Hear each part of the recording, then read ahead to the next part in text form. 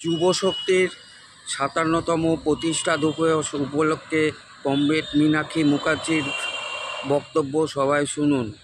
ভিডিওটা ভালো লাগলে লাইক এবং শেয়ার করবেন প্রত্যেকে। মীনাক্ষী মুখার্জি যেসব কথাগুলো বলছে, সেগুলো আমাদের মনে রাখতে হবে। আমাদের দুই প্রাক্তনই আজকে আমাদের আলোচনা সভার বক্তা। রাজ্যের প্রাক্তন সম্পাদক, সর্বভারতীয় প্রাক্তন সম্পাদক আপনারা। আপনাদের সবাইকে অভিনন্দন। জন্ম থেকে শুরু করে স্রোতের প্রতিকূলে হাঁটাটা আমাদের অভ্যাস, আমাদের সাহস, আমাদের তেজ। প্রতিকূলতার বিপক্ষে আজকেও আমরা এখানে দাঁড়িয়ে আছি, সেটা প্রাকৃতিক হোক, সেটা রাজনৈতিক হোক এবং সেটা সামাজিক অবক্ষয় হোক। এই দাঁড়ানোটা কোনো দিন একা সম্ভব নয়। গোটা উত্তরের জেলাগুলো এবং গোটা রাজ্যের যুব সংগঠনের কর্মীদের, তাদের লড়ে যাওয়ার মানসিকতা আজকে আমাদেরকে এখানে এক থাকার জন্য যে সাহস দিয়েছে আজকের বালুরঘাটের এই মঞ্চ থেকে, তাদের সবাইকে এবং আপনাদেরকে আমাদের লাল সেলাম অভিনন্দন। সোশ্যাল মিডিয়া সামাজিক মাধ্যমেই পড়ছিলাম। আগেও পড়েছি, এখনও পড়লাম। আফ্রিকার কোনো একটা গ্রামে খুব দারিদ্র, খুব গরিব। সেখানে মায়েরা সবজির খোসা, নুন দিয়ে মাটির বিস্কুট তৈরি করে বাচ্চাকে খাওয়াচ্ছে খিদে নিবারণ করার জন্য। এবং বাচ্চা যখন সেটা খেতে চাইছে না তখন তাদেরকে স্বপ্ন দেখাচ্ছে যে একদিন নিশ্চিতভাবে থালা ভর্তি আমরা খাবার পাবো। সেখানেরই কোনো একটা স্কুলে একদিন কম্পিটিশন হলো, বলল, বাচ্চারা সব দৌড়াবে। দৌড়ানোর পুরস্কার কি? বলল, ঝুড়ি ভর্তি তোমরা রুটি পাবে, খাবার পাবে। মাস্টারমশাইরা দাঁড় করিয়ে দিলেন বাচ্চাগুলোকে যেবারে দৌড়াও। রেডি স্টেডি গো বলে হুইসালও বাজিয়ে দিলেন। কিন্তু কি আশ্চর্য, সবকটা বাচ্চা নিজেরা নিজেদের হাত ধরে একসাথে চলতে শুরু করল। এবং গেল, সবাই একসাথে প্রথম হলো আর সবাই নিজেদেরকে জড়িয়ে ধরলো। মাস্টারমশাইও অবাক, কিছুটা বিরক্ত, কিছুটা রেগে গিয়ে বাচ্চাগুলোকে জিজ্ঞেস করল যে, এটা আবার কি? ওরা ততক্ষণে উবুন্টু বলে চিৎকার করেছে। তার কথার মানে হলো, আমরা। যদি আমি নেই, তো আমরাও, যদি আমরা নেই, তাহলে আমিও নেই। বাচ্চাগুলোকে যখন মাস্টারমশাই জিজ্ঞেস করল যেটা কি? বলল, একজন যদি জিতে যায়, সে যদি ঝুড়ি ভর্তি রুটিটা খাবার অধিকার পায়, বাকিরা খাবে না। এ সমাজ আমরা চাই না। আমরা চাই যে আমরা সবাই মিলে খাব, সবাই মিলে দৌড়াবো, সবাই মিলে প্রথম হব। আমরাও চাইছি ভাগের বিরুদ্ধে লড়তে। চাইছি আপনাদেরকে সাথে। মাথা পরিষ্কার করে।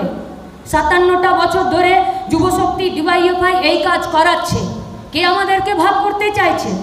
কোচ, মেজ, রাভা, রাজবংশী, সদর হারগে তীর্থে লিম্বু, নেপালি, শুধুমাত্র উত্তরের না, ঝাড়গ্রাম, পশ্চিম মেদিনীপুর, পূর্ব মেদিনীপুর, পুরুলিয়া, বাঁকুড়া, বীরভূম, বর্ধমান, উত্তর কলকাতা, দক্ষিণ, হাওড়া, হুগলি আমরা ভাগ হতে চাইছি না, আমরা ভাগ হতে চাইছি না। কেন? কারণ ভাগ হলে কাজের অধিকার আদায় করা যাবে না। আর ওরা জানে ওদের বিরুদ্ধে আমাদের লড়াইটা খুব শক্তিশালী। কারণ ডিওয়াইএফআই যুব সংগঠন যখন গোটা রাজ্যের যুবদেরকে নিয়ে রাস্তায় নামে, সে লড়াইয়ে ওরা জিতে দেখায়। বালুরঘাটের এক লাখি রেল স্টেশনটা আমাদেরই আন্দোলনের ফসল। কেউ তাকে দাবি সেখানে তাদের প্রতিষ্ঠিত করতে পারবে না। শুধু এটা, মেজিয়া বক্রেশ্বর হলদিয়া আমরা করিনি। আমাদেরই তো লড়াই ছিল যে কাজ পেতে হবে কাজ। কাজ যদি না পাই হাতে পয়সা আসবে না। হাতে পয়সা না এলে বাজার সচল থাকবে না। বাজার সচল না থাকলে পেট ভরবে না। আর ভুকা পেটে ঘুমাতে যাব। শুধু ভোট আর ট্যাক্সের টাকা দিয়ে তোমাদের গদি গরম করার ব্যবস্থা। এ ব্যবস্থার বিরুদ্ধে আমাদের লড়াই। সেই লড়াইয়ে যুবশক্তি প্রতিটা দিন সান দিচ্ছে আর আমাদেরকে তৈরি করছে। হ্যাঁ আমাদেরকে অনেক সময় হোঁচট খেতে হয়েছে। অনেক সময় আমাদেরকে। দুপা পিছিয়েও আসতে হয়েছে জনসমর্থন কখনো কখনো আমাদেরকে উৎফুল্ল করে, কখনো আমাদেরকে সামনের দিকে এগিয়ে নিয়ে যাওয়ায় যায়। কিন্তু প্রতিকূলতার বিরুদ্ধে প্রতিবাদকে রেজিস্টার করার দক্ষতা, প্রতিবাদকে রেজিস্টার করার শক্তি, সাহস আমাদেরকে যুব শক্তির শক- প্রতিনিয়ত দিয়ে যায়। কারণ আমাদের সংগঠন রাজনৈতিক সংগঠন। আর সেই সংগঠনের রাস্তায় যেমন লড়াই থাকে, সেই লড়াইটা মগজেও থাকে। তাই সেই মগজের লড়াই, মগজের ধার দিয়ে রাস্তার লড়াইকে আরও বেশি সংঘবদ্ধ করতে চায় বিরানব্বই সালের আটই সেপ্টেম্বর রেখা তামাং একটা মিছিল থেকে কিডন্যাপ হয়ে গেল। গোর্খাদের যে বিচ্ছিন্নতাবাদীর সেই গোটা রাজ্য জুড়ে যে বিচ্ছিন্নতাবাদী আন্দোলনের শুরুয়াত যেখান থেকে করছিলেন, যেগুলোকে তাদেরকে ত্বরান্বিত করছিল সেই লড়াই থেকে। তিন দিন পর রেখা তামাংয়ের শরীরটা পাওয়া গেছিল। ব্লেডে করে, ছুরিতে করে, কোথায় কাটেনি? তিন দিন পর। আমাদের কর্মী ছাত্র যুব আন্দোলন। শহীদ হয়ে বলেছে, এ পথ কঠিন, কিন্তু এই পথ থেকে সরতে নেই। ছিয়াশিতে নীরব রায়, নীরজ রায়, ডিওয়াইএফআইয়ের কর্মীরা শহীদ হয়েছেন বিচ্ছিন্নতাবাদের বিরুদ্ধে, বাংলা ভাগের বিরুদ্ধে যে কোনো রকম বিচ্ছিন্নতা এবং ভাগের বিরুদ্ধে। তাই লড়াইয়ের প্রতিবাদের রেজিস্টারের সংখ্যা যদি কমও হয়ে যায় রেজিস্ট্রিকৃত মানুষের সংখ্যা, মতামতের সংখ্যা, তাই বলে যারা সংখ্যা গরিষ্ঠ তাদের সিদ্ধান্ত, তাদের মতামত, তাদের অভিমুখ যে ঠিক কথা বলছে তাই নয়। তাই সংখ্যাগরিষ্ঠদের দেশ বিরোধী রাজ্য বিরোধী যুব বিরোধী মানুষ বিরোধী যে মতামত, যে দিশা, যে পলিসি তার বিরুদ্ধে লড়াইটা কঠিন। কিন্তু অসম্ভব নয়।